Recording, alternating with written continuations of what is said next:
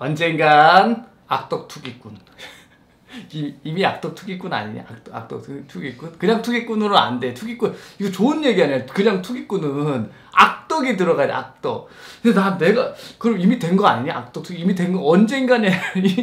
이미 악덕 투기꾼 아니야? 내가 논리적으로 아무리 생각해보고 내가 이때까지 공부한 것들 그리고 뭐 해외 사례도 봐, 봐도 나는 경제에 큰 이바지한 것 같은데 왜 그 악덕이 왜 붙지? 경제에 큰 이바지하고 나 같은 사람들 다 사라지면은 나라 망할 텐데. 악덕 아니 뭐 뭐라고 불러도 악덕이든 뭐 천인공노 뭐 알아서 다 붙여 상관없어. 진실은 제가 이제 뭐 대한민국에 저 같은 사람도 꼭 필요하다는 거. 그리고 누구한테 해준 적은 없고 우리 같은 사람들이 있어서 또 경제가 굴러가는 거지. 오히려 악덕은 그거지. 잘 알지도 못하는지 아니면 개인의 사익을 잘 몰라서 그러는 거는 또 괜찮아 근데 자기의 사익을 위해 가지고 그 있잖아. 선소인? 아니 선중인? 그 아 그다음에 맨날 집값 폭락한다고 집 떨어진다고 해놓고 어? 그거 그것 때문에 사람들 막 뭐, 서민들 사실은 그거에 순진한 사람들 속아 넘어가지고 집 안 사고 막 인생 망치고 힘들게 살고 어? 그리고 또 있잖아 그오 6월 오 6월 스쿨 어, 주식 강, 강의 막 자기 강의하고 어? 2천 가면 뛰어내린다고 해놓고 자, 자기 주식 강의 혹시 여기서 저기 뭔가 배우시는 형들 있잖아. 나한테 막 계좌가라고 불만 있고 막 그런 형들은 이제 좋은데 소개해드릴게 오 유월스 최모시기. 그 거기 가시면 돼. 거기 아니면 뭐 유사 투자자문 그거 뭐 있잖아. 무슨 투자 클럽. 거기 가시면 돼. 여기서 그 나는 얘기 나 가난하고 없고 나 뭐 잘 모르고 나 동네 바보. 동네 바보 오늘 이제 부동산이에요. 부동산. 아니, 하루 그래도 일주일에 부동산은 한번 해야지. 근데 요새 부동산 블로거들이나 뭐 부동산 하시는 분들이 진짜 심심할 거야. 할 게 없잖아. 뭘 할 거야? 할 게 없는 거야. 내가 봐도 할 게 없는 게 눈에 훤히 보여. 아니, 안 보거든? 근데 안 봐도 보면 뭐 할 게 없으니까 옛날에 했던 얘기 하던지 뭐 지도 펴놓고 그냥 뭐 이것저것 하던지 뭐 아무 그냥 별 의미 없는 거 하는 거야. 맞았어. 떡밥 까는 거야. 나도 할 거 없으니까 의미 없는 거 한다고 미리 떡밥 까는 거예요.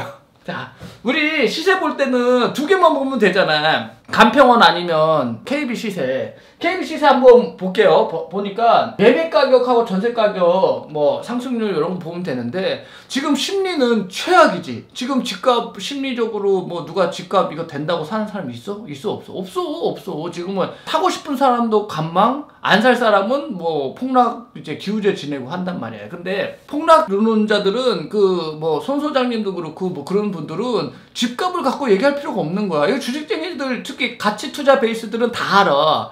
집값 폭락은 집값을 폭락하다. 집값이 비싸서 폭락합니다. 이런 얘기는 할 필요, 그, 그런 얘기는 딱 이것만 믿고 걸으시면 돼. 이거는 진짜 진리야. 인구 얘기 나오잖아.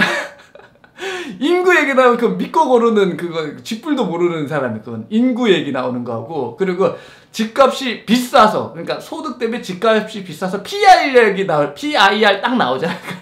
믿고 거르는 전문가 그 두 개 딱 이야기 나온 사람들은 그냥 무조건 믿고 거르세요. 근데 이런 얘기하는 사람도 있어. 아 그 지역에 일자리가 날라가서 집값이 이런 얘기. 어 그거 맞는 얘기. 일자리. 그리고 전반적인 경제 상황이 우리가 경제가 어려워져서 자산 가치가 폭락한다. 그건 맞는 얘기야. 근데 자산 가격 폭락은 내가 집값이 두 집을 두고 있으면 집값이 폭락했어.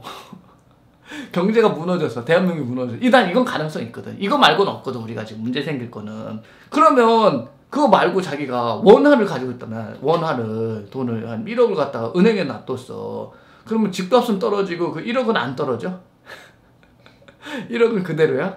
어, 어 1억, 아, 숫자는 그대로 1억 써있지. 근데 원화 가치가 떨어지잖아요. 경제 위기가 오면. 달러 베이스, 달러를 기준으로 해야 돼. 해야 돼. 달러 인덱스로 봐야 될 거 아니야. 그지? 그냥 떨어진 거야, 그거는. 그럼 뭐 주식 들고 있어. 다 떨어지네. 미국 주식 아니면 뭐 달러 베이스 채권이나 금 들고 있어야 되네. 그러면 그럼 그거 말고는 없네. 그럼 한마디로 뭐 방어 치는 건데 아, 미국 주식은 공적이지 뭐. 그 아, 나는 그래서 미국 주식은 나중에 얘기할 건데 미국 주식은 아, 근데 오늘은 부동산 이야기니까 그거 얘기 안 한 사람은 무조건 믿고 걸러야 된다고 생각해요. 아니 나는 그렇게 걸를 거야. 나는 맞다고 생각해. 근데 우리 형 누나들 생각도 다를 수 있으니까 인구 얘기 딱 나오면 우리 옛날에 인구 얘기가 이게 왜 나오냐? 그 논리적으로 생각해야 되거든요. 우리 어렸을 때 여보. 생각해봐. 우리 막 어렸을 때 막 통금 있고 막 자기는 그때 자기는 이제 90년대생이니까 모르겠지만 이제 뭐 70년대나 이런 좀 기억 좋은 사람은 통금 있고 그랬다고. 그럴 때는 1인당 거주 면적 자체가 좁았어. 단칸방이 옛날에는 단칸방이 막 다섯 여섯 명 애들도 많았잖아. 그럴 때는 거기서 막 이러고 이러고 살았다고. 근데 점점 인당 주거 면적이 늘어나고 있어요. 늘어나는 게 좋잖아. 난 솔직히 혼자 살아도 50평 살고 싶어 나는. 100평 살고 싶어 100평 집에서 스케이트 타고 다닐래 넓어진다니까 그거는 그리고 예전에 다 몰려 살았는데 이제, 이제 점점점 쪼개져 살잖아. 어? 우리도 결국은 다섯 식구잖아. 지금은 이제 어머니까지 여섯 식구지. 근데 집 두 개 쓰잖아. 근데 나중에 봐봐. 여섯 명이잖아? 여섯 개 있어야 돼. 인당 우리 다 따로 살 따로 살 거잖아. 우리 아파트 이렇게 한 동 이렇게 해가지고 이렇게 그렇게 하면서 그래서 내가 미리 여러 개 사놓은 거야. 우리 다, 다 헤어질 거 대비해가지고. 그거 하는 걸러야 돼요. 걸러야 되고 보니까 그런 상황에서 지금 심리가 개박살 난 상황에도 오르는 데가 있네 자 3월 8일이야 최신자에 금요일 날 나온 거예요 보면 대구 남구가 0.21% 올랐네. 주간 0.1이면 많이 오른 거야. 대구 남구. 근데 전세 가격도 대구 남구가 많이 올랐네. 대구 남구. 그렇게 좋은데 이거 무슨 얘기냐면 집에 거기 그 동네 모자란다는 얘기야 뭐 수요가 늘었던지 공급이 모자라든지. 아마 내가 볼 때는 거기가 분양 시장이 한동안 안 좋아서 집을 안, 줘, 안 줬어. 나는 근데 희한하게 대구 사람들이 이 부동산에 관심이 되게 많거든. 대구 사람들이 진짜 부동산에 많아. 그래서 서울 와가지고 막 버스로 와가지고 쓸어 간다 하면 다 좀 대구가 먼저 와그 다음에 부산이 와그 다음에 다른 지역 전라도 그런 데는 안 와 이상하게 대구가 많이 와. 대구 예, 뭐 부자들이 많나 왜 그러지? 근데 대구가 항상 먼저 식구 먼저 올라. 그래서 사실은 대구 한동안 되게 안 좋았거든. 근데 요즘 대구 남구, 대구 달서구, 대구가 지금 그래도 도네. 이거 실수요로 도는 거야. 그리고 대전 유성구. 유성구는 왜 올랐지? 그리고 광주 강상구. 광주 강상구도 내가 볼 때는 수요가 확 늘기보다는 뭐 공급이 또 부족했겠지 안 지니까 안 사람들이 집을 영원히 쓸 거라는데 아니에요. 집 집도 우리 뭐 3, 40년 쓰면 못 써. 우리 계속 시스템도 바뀌고. 아 쓸 수는 있는데 알잖아. 그 후진 거 쓰는 거야. 그 지금 음마 아파트 이런 데는 서로 괴로운 거야. 거기 빨리 해서 그 사람들 잘 살게 해주면 되지. 그 사람들 그렇게 괴롭히고 제 사유재산 묶어가지고. 이건 또 나중에 부천도 부천이 은근히 실수요층이 두터워. 서울로 출퇴근이 좋거든. 거기가 교통이 은근히 예전에는 아니었는데 뭐 중동 신도시 막 나오고 하면서 거기가 그 은근히 괜찮아. 그러니까 부천에 무슨 투기 수요가 붙었겠어. 빨리 두들겨 까야지. 빨리 그 아줌마 누구야? 빨리 그 전화해. 공개부 아줌마. 빨리 뚜들 올라. 아줌마 판사님 여기 여기 여기 올랐어요.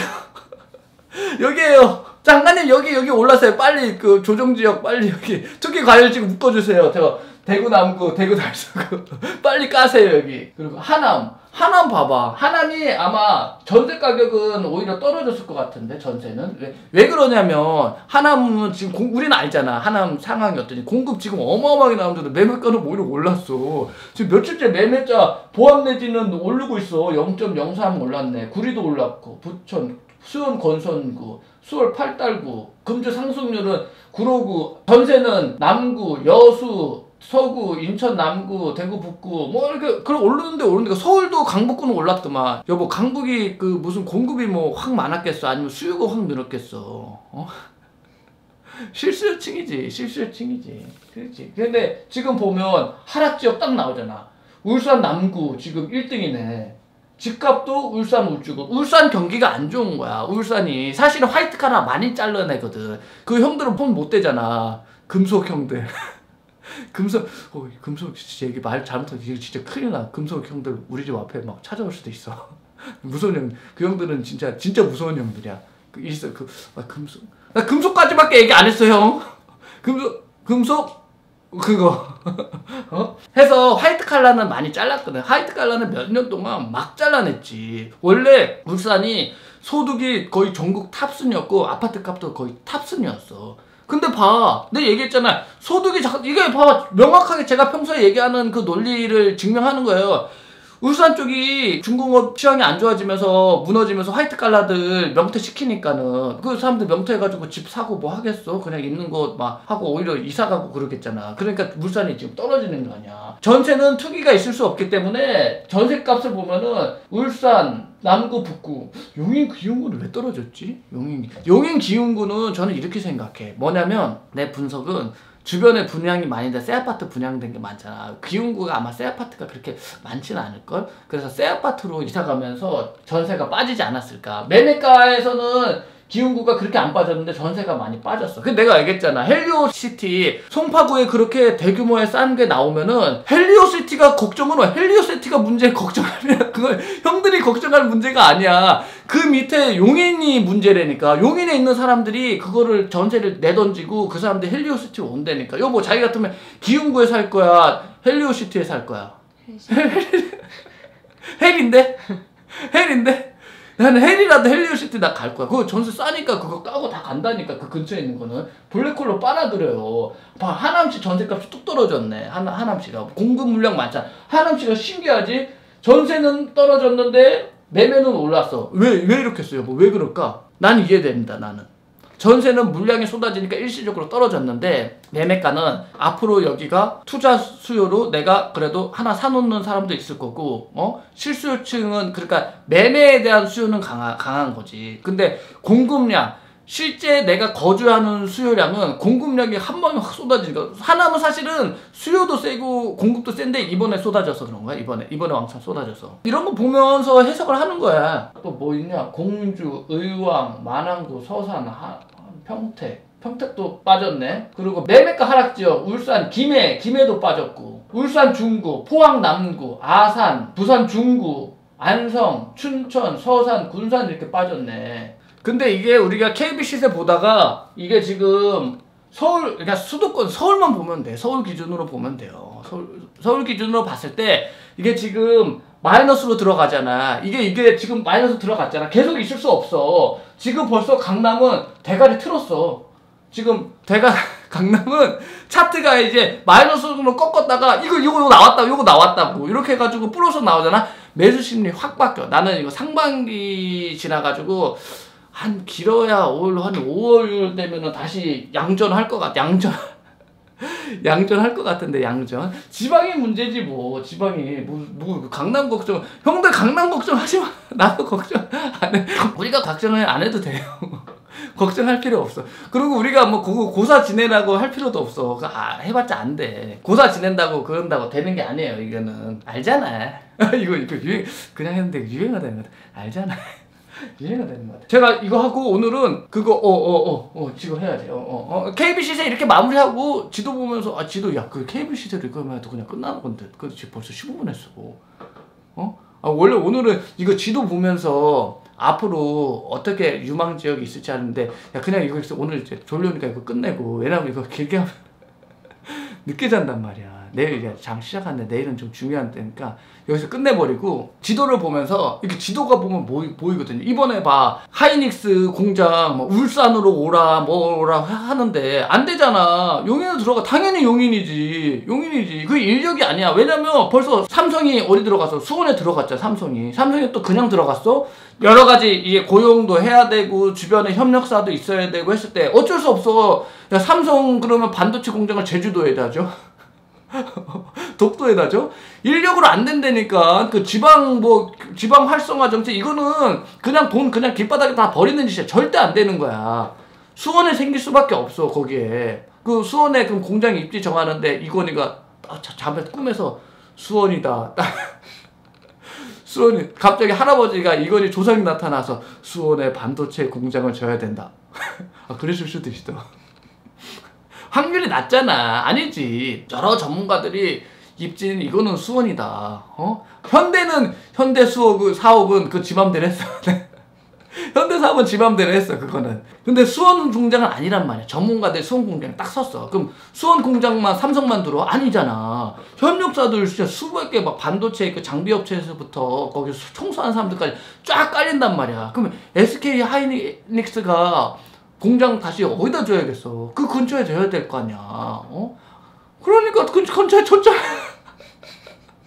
줬잖아. 인력이 아니라니까. 그러면 앞으로 어떤 식으로 국토가 개발될지도 이제 딱 보이지. 앞으로 딱 다 보여. 얼마 전에 제 지인이 경희도 옆에 단독주택 지고 살아가지고 그 동네 집을 갔는데 그 동네가 원래는 진짜 얼마 전까지만 해도 내가 논밭이었거든. 내가 대학교 2000 뭐 몇 년도 5년도 할 때보다 용인이 막 난개발될 때 2005년대만 돼도 그게 별거 몇년 안 냈어. 그래 내가 2010년도에만 가도 거기가 막 벌판이고 그랬는데 거기가 천지개벽을 했더라고. 그렇겠지. 고속도로 지나가고 근처에 반도체 수원 반도체 생기고 이것저것 생기면서 그- 그게 활성화되는 거야. 뜬금없이 될 수가 없어. 갑자기 나라에서 저기로 보낸다고 어? 어디 해남으로 보낸다고. 그런 케이스 있잖아. 그 서킷 그거 뭐냐? 그거 자동차 F1 그거를 전남에 줬으니까는 그 저- 전남이냐 어디냐. 어쨌든 그거 망했대. 영, 영암 영암? 영암에 졌대. 졌잖아. 근데 그거 아무도 안 간대. 안 가지. 오히려 인제는 많이 가 인제는. 인제는 진짜 은근히 많이 가. 그래도 왜냐면 수도권 수요가 가잖아. 근데 거기 F1 경기장 아무리 좋아도 거기 가기 어렵단 말이야. 근데 그거를 김포에 줬어 봐 파주에 줬어 봐 어? 내 땅 옆에 내 땅 옆에 좀 줘주지. 어. 대박 났지. 다 가서 F1 막 몰아보고 뭐도 하고 하지. 그 주변에 상권도 되고 되는 거라니까. 그거 하여간 그렇게 되지도 않는 거 정치적으로 하는 건 안 돼. 그거는 결국은 사장돼. 나중에는 그런 것들 없어져 버려. 그거 부시는데 또 돈 더 쓴다니까. 결국은. 근데 경기 수도권에는 내 예전에 박원순 시장이 고가에다가 공원 만든다고 하는 거 그거를 우파에서 막 반대를 하는 거야. 나는 정치적 그게 없잖아. 근데 비논리적이지. 서울에 공원이나 인프라 깔아가지고 실패한 역사가 있어 없어? 없어. 어, 서울에다가는 아무거나 깔아도 돼. 그냥 아무거나 그냥 고가에다가 뭐 미끄럼틀 깔아도 사람들 가서 거기서 미끄럼 탄다니까 고가에서 다 한다니까 스케 해주고 그 반대하는 거 바보들이지. 정치적으로 그런 얘기하면 안 된다니까 그거. 박원순이 그 박원순이 뭐한 저게 아니야 그거는. 뭘 해도 되는 거야. 어? 되겠어 안 되겠어. 서울에다가는 뭐 하면은 그냥 무조건 되는 거야 그거를. 그거 박원순이 미우니까 박원순 싫다 뭐 미워가지고 하는데 우리는 논리적으로 해야지. 아니 나도 박원순 시장을 뭐 좋아하고 그러진 않아. 난그난그 아저씨 그 내 스타일. 아 그 아저씨 좀아 이, 이상해. 알잖아. 알잖아. 아니 뭐 나랑 상관없거든. 별 관심은 없어. 아니 그게 그런 거예요. 그런 거야. 모든 게. 모든 게 그렇잖아 순리대로 가고 우리가 자연의 법칙으로 가야지. 그 개미들이 뜬금없이 집 짓는 줄 알아? 그 그렇게 집 짓는 그거 있잖아. 그게. 너 산길 있잖아. 산에도 있잖아. 사람들이 올라가는 산 오솔길 있잖아. 그게 그냥 나는 게 아니야. 여러 사람들이 가는 그 접점이 맞는 거야 그게. 그게 그래서 그 글로 길이 나는 거야. 뜬금없이 야 말도 안 되는 막 물로 올라가는 사람이 있어? 없어. 없어요. 송어야? 송어 아닌가? 그거 뭐냐? 올라가는 거. 그거. 고래? 그 물 올라가는. 연어?